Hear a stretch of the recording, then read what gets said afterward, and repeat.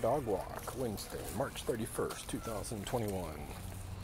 About 80 degrees here in Orlando. Walking Dottie. Good tinkle. Alright. Yep. Halfway through the week. Yep.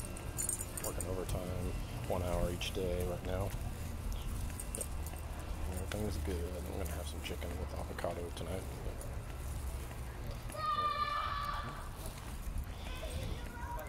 Noises. Bobby doesn't care.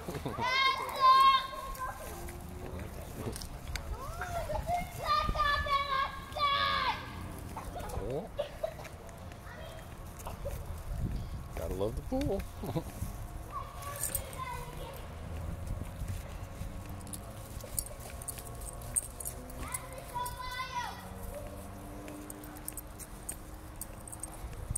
Good girl, Dottie. Alright, well, enjoy your evening, and